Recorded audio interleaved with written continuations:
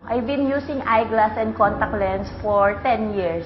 500 plus yung grado ko dati. In God's timing, nakita ko nakapost siya sa FB na pwede daw all cases ng eye problem. So, Na-diagnose ako na yung right side ko nag-uumpisa na magkaroon ng cataract. Subukan natin baka makuha pa sa, mga, sa eye drop, sabing ganun. For three years, ginagamit ko yun. May nakita ako na ano, nag-advertise tungkol sa hisop. So, bili ako. Inabot na na siguro dalawang hanggang tatlong buwan.